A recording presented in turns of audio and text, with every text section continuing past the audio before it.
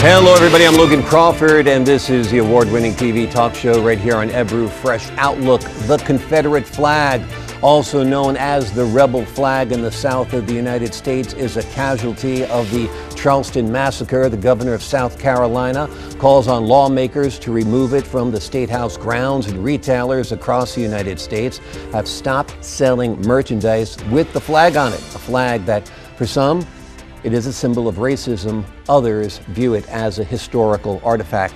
Take a look.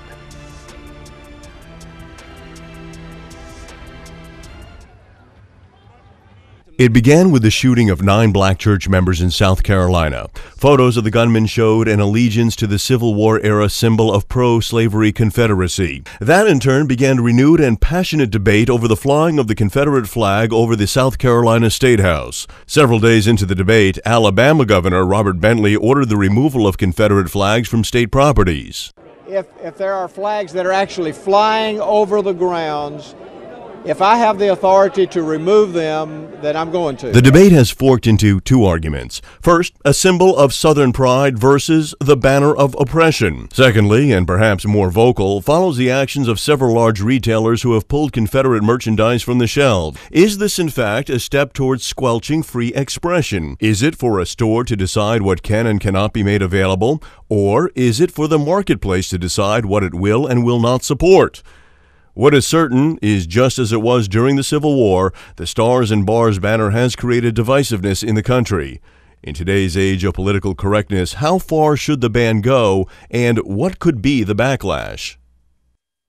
We're back live on set now here at Fresh Outlook. I am joined by the Fresh Outlook think tank, Yohuru Williams, Vice President of Academic Affairs at Fairfield University. Joining us live via our DC connection is Robert Chase, History Professor at Stony Brook University. I'm also joined today by Professor F. Michael Higginbotham, an internationally renowned expert on race and the author of the book Ghosts of Jim Crow. Also joined today by Matthew Tyrmand, a telecommunications expert, and he works on a website called openthebooks.com.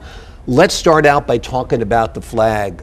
Michael, I've lived down south. The Civil War is still being fought on many levels. Um, and a lot of people wanted to preserve the flag.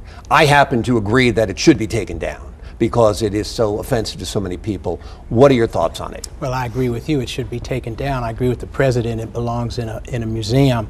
But I do see how some people could see different symbols. Uh, certainly, there are those who say it's nostalgia. There are those who say it honors their ancestors. But I think the history is real clear. Uh, it was a flag that was created by an army to defend slavery. It was uh, it was revived by a, a, a, movement to defend Jim Crow segregation, and most recently, you know, it was flouted by an individual who walked into a church and killed nine people. So I think that it is divisive for most Americans. Uh, it symbolizes racial oppression and racial division. I think Governor Haley was correct in the sense of saying that it may be part of our past, but it's not going to be part of our future. And so I think it was a good week uh, in that sense. Turn to Matthew. What is your take? Uh, well, I personally believe that all symbols, just like speech, should not be banned. I do, however, concede that on a public building, with the historical implications and the offense that it creates to so many in a plural and free society, the people have a right to stand up and say, you know, we do not want this to represent us. So I am not averse to Nikki Haley's decision. What worries me is the precedent it sets through public uh, public demand for such a thing that it can then flow over into the private sector, which is what we're seeing. And so there's now a politically motivated push. Uh, and if businesses on their own volition want to remove it from their commercial activity, I 100% support that. But to have a political uh, push and motivation to do so worries me. Yohuru, what I worry about is that people are going to look at the Charleston massacre and say, see, we did something about this. We took down that damn flag. This isn't about the flag. It's about so much more, right? Well, it's ultimately about human life. It's about the gun lobby in this country, the easy access to guns, to firearms. It's about racial division. And quite frankly, symbolic gestures tend to have symbolic consequences, not substantive consequences. We need to have a real serious discussion in this country about not only gun violence, but our problem with racial uh, inequality. Uh, in all of its manifestations. And the problem with a situation like this is that it becomes a celebratory moment if the flag comes comes down, but a missed opportunity if we don't have any deeper conversation, deeper discussion, and some real political action on those areas that, quite frankly, continue to prove divisive, race being chief among them. And let's turn to Robert now. Robert, another fear I have is the nuts out there, like this madman, I don't even like to say his name, who opened fire on nine people in a church, will actually, actually wrap themselves tighter in that rebel flag now, saying, see, they're trying to take away our flag. They've won a battle here. What's your take? Well, precisely. I worked in, in Charleston at the Avery Research Center for African American History and Culture for two years, and I knew uh, two of the victims of this assault. And in fact, we had a conference there on Black Power where we invited Yohuru Williams as our distinguished speaker. I would say this about Dylann Roof, and I think we should name him and name his kind of violence. It has a history. Uh, the assault on black churches is associated with a longer assault on churches as a space not only of black spirituality, but civil rights and social justice. During the 1960s, over 300 black churches were bombed, burned, including the 16th Street Church in Birmingham, then known as Bombingham, where four girls died in a nightmare moment three weeks after Martin Luther King delivered his I Have a Dream speech. And indeed, in 1964, during Freedom Summer, a black church was burned every other week. So we need to understand this symbol of the Confederate flag in this history of violence and, importantly, as a state response to the civil rights movement. As in 1962, the governor of South Carolina, Fritz Hollings, put that flag for the centennial of the Civil War. Here we sit at the 150th anniversary of the Civil War, and it was done not just to remember the Civil War, but as part of massive resistance against the civil rights movement and questions of social justice and a state response to it. So we need to understand that, and when individuals take this as terrorists, they're tapping into a longer history. And while Dylann Roof didn't understand that history completely, he certainly was inspired by our history of racial violence against civil rights and social justice movements, and the Black Lives Matter movement and Trayvon Martin inspired his act. Okay, we're going to talk more about the massacre in Charleston in our next segment. Right now, we're going to focus a little bit more on the flag. And Michael, being a TV news reporter in the mid 1990s in Atlanta, Georgia, went up to Stone Mountain, Georgia. I don't know if you've ever been there. And I was shocked. All these pickup trucks with young guys flying the rebel flag, and I believe the fathers of the Confederacy carved into the side of the mountain. Why is it that this abhorrent part of American history is so alive and well and celebrated by mostly white people in the South? Well, I tell you, as I talk about in, in, my book Ghosts of Jim Crow, there's a long history of having a racial model in this country that, that involves racial division, racial hierarchy, and racial victimization. And I think the embrace of the Confederate flag, as well as many other things that are going on today, like disrespect to the first African American president, when you stand up in, in Congress and say you lie, which is unprecedented for a congressman to do to the president when he's giving a, a State of the Union address. These kinds of examples, I think, reflect that racial model that continues. It, it, while we've made progress in terms of eliminating Jim Crow segregation, in terms of passing anti discrimination laws, while we've made progress, progress doesn't mean post racial. Progress doesn't mean that race is no longer significant in our society. And I think the embrace of the Confederate flag, as well as these other things that are going on, uh, you know, in terms of the criminal justice system in terms of the number of deaths of young African American males, as well as segregation in our schools and, and, discrimination in housing and so forth.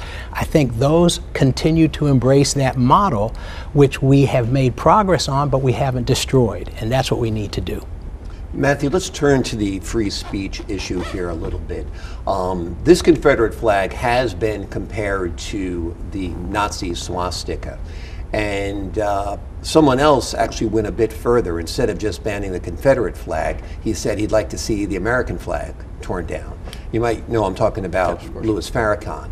Um, tell me about this racial divide that, in my view, seems to have uh, become greater since President Obama became president? Is it the reactionaries holding on to the past? Why do you think racial tensions have flared under the tenure of President Obama, if you accept that presence, uh, premise? Uh, well, first, I do want to discuss what was alluded to on this idea of co-opting symbols. The swastika was co-opted by the Nazis and was used as one of the great symbols of hate and violence and obviously genocidal uh, messianic activity.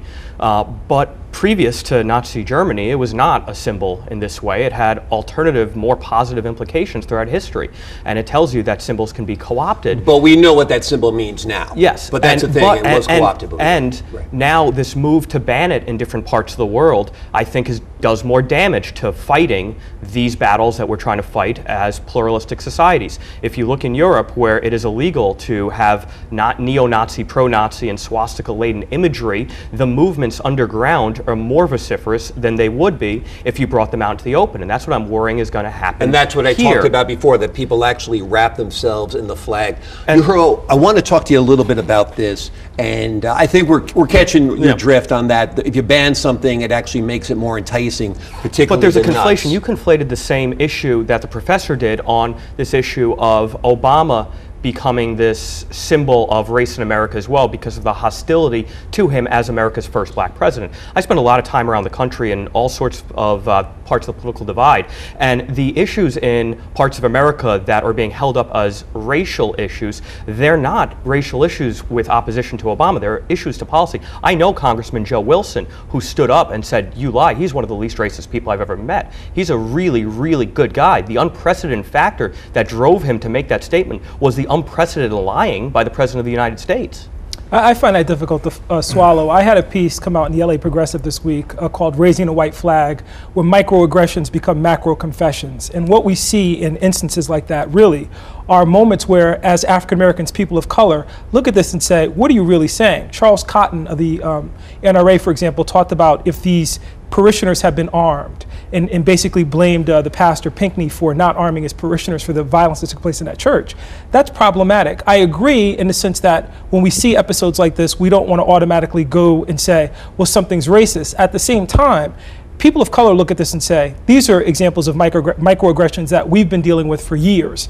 And trying to call out, and in these moments, it's pretty clear, South Carolina is another moment, that when you privilege the, South, uh, when you privilege the Confederate flag over the nine, lives of nine citizens, there's a problem. When you lower the American flag, but the Confederate flag stays raised, what are you ultimately saying about citizenship? What are you ultimately saying about civil rights and where we are as a society and a culture and a country? That's the real problem. I agree with that. As we talk about symbols, let me turn to Robert for just a second. We're talking about symbolisms and what they mean. Let's talk about a very powerful, powerful symbol, a word. President Obama said the N word in reacting to the Charleston massacre. Now, I can't say that word. White politicians can't say that word. Are you creating a two tier system where some people are privileged and can say that word with a hard R or an A, and other people are forbidden to say it because they'd be perceived as a bigot? I think what's important to understand with President Obama's use of that word is the context in which he was trying to place it, which was to say, one doesn't need to scream that word and use the N word in that way. But if he had said the N-word, we would have known what he was talking We have about. a country that has two point.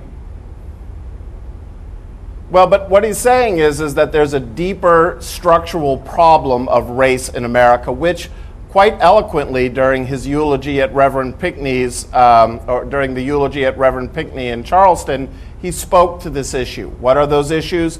Mass incarceration, economic inequality, uh, questions of policing, um, questions of healthcare, all of those things that are, on the one hand, celebrating a black African American president, and on the other, uh, miring African American youth in a system of inequality. So we don't need to just use this word in order to have a society that still suffers from its history of racism, racist ideology, and racist symbols, and indeed an experience that structures African Americans as unequal, even though we do have a Civil Rights Act. We also are retreating, for instance, on the Voting Rights Act through the justice uh, through the Supreme Court's decision under uh, Chief Justice Roberts. Okay, we've got a whole lot more to talk about this. In fact, Robert just opened up a can of worms. Since I need ID to take out a library book, I should need ID to vote, right? That's how I feel about it. We'll find out what our panel thinks about it.